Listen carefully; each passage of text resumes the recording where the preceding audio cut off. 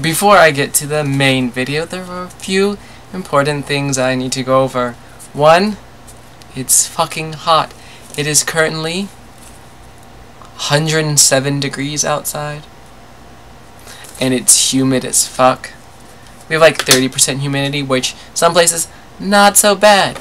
But when you're used to very dry heat, humidity is fucking awful. That's the first thing. The second to first thing is I'm currently unemployed. I know. Hold your applause. I'm proud of me too. Um, so I didn't quit or anything like that. The place I was working is no longer in business. They also owe me about a thousand dollars. So there you go. We have that. Uh, it sucks. I spent this morning uh, cleaning a house for some extra money. Um, I do have a job interview lined up. Move my hair. To become a teaching assistant in uh, the one local schools, but taking that job means I still won't be working for the rest of the month. So, there we go. We've got that. Now, I did something very stupid, something we probably shouldn't do when you currently become unemployed. But I found 60 bucks in my wallet that I didn't know was there. It had probably been there for a very long time because it was behind my uh, Medi-Cal, my Med-Ecal, because I'm Californian, my uh, government insurance card and I haven't had uh, government insurance for three-ish years, so it's been there for a while. So I went out and I went to um, two bookstores and then Walmart and then the Dollar Tree. So we're going to go through my what books I have recently purchased. And when I say recently, I mean in the past three days. So first, we're going to start off with um, Thyme of Death by Susan Wittig Albert. Um, it is a murder mystery about a girl, a woman, whose friend dies from an apparent suicide, but she kind of finds it kind of fishy, and she starts looking into that. And I have never found a murder mystery that I really, really like. I one of my favorite shows of all time, though, is Murder, She Wrote. And I want to find a murder mystery that, like, fills that in my life. Um, the next book we have is... See, I don't know how to say the name. Um, I think it's the Guernsey Literary and Potato Peel Pie Society. Um, not gonna read it. When I was at the... There's a local bookstore that I frequent quite a bit. I'm friends with the um, owner. She told me this was a murder mystery because I was looking for a cozy murder mystery. And it's not. And it's actually, actually one of the things I really have hard trouble reading was it's uh, so it's told out through letters, and nope, pass, pass on that. And finally, from my Ravens bookstore place, um, it's A Tale of Despereaux. I have a nephew, and I keep on trying to get him to read. Well, not read, but sit down and listen to stories. He's almost four, and I've never read it. And the movie was not good, so I'm hoping the book's better. But it's short, and we should be able to get it pretty fast. Now, we're going to move on to my Barnes & Noble. Now, when I went to Barnes & Noble, they had uh, they were having a sale. Um, trade paperbacks, two for $8, and um, hardbacks, two for 10 So I bought two and two. So the first paperback I got was The Blade Itself by Joe Abercrombie.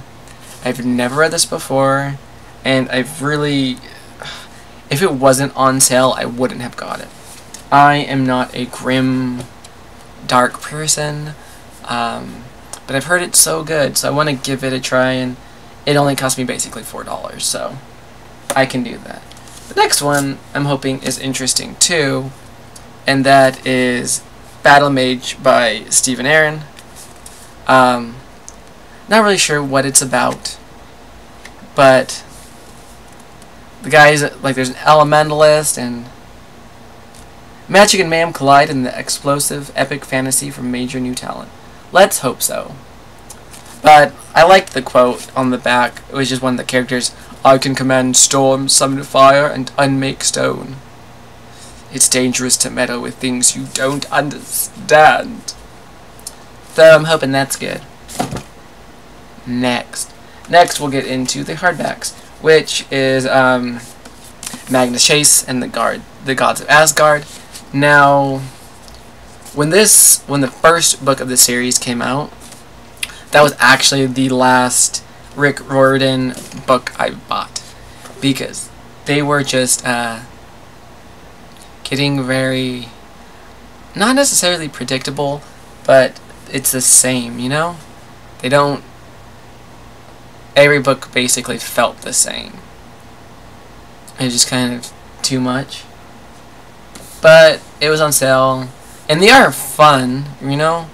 They're just not the most in-depth thing. So I'm gonna give it a try. Maybe it will relight a fire in me to finish him, to finish the series or whatever.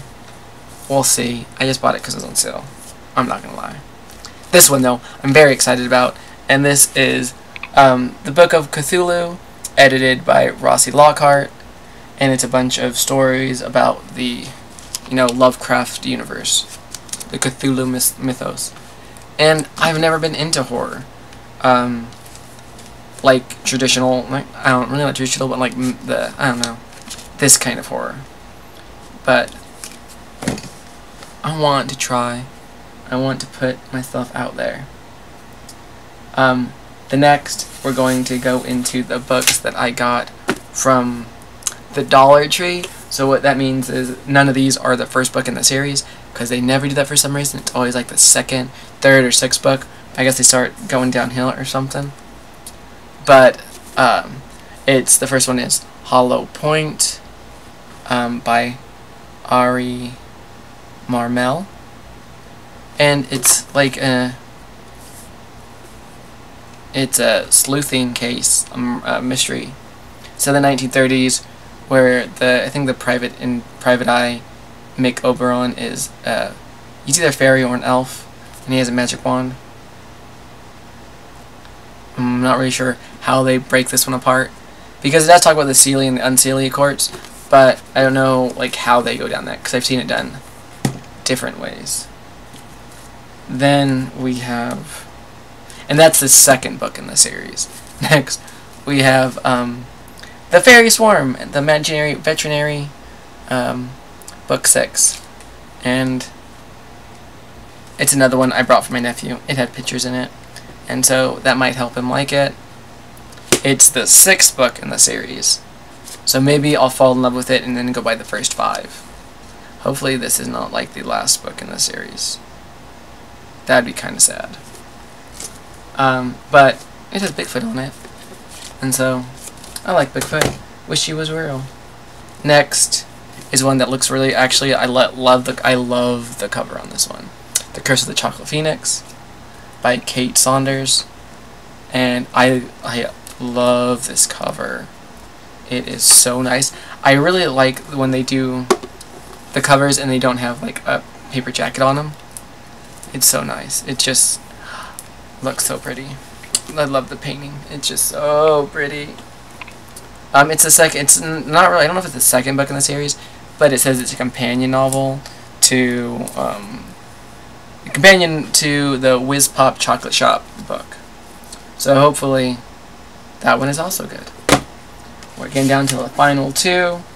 Um, this is Tower Lord by Anthony Ryan.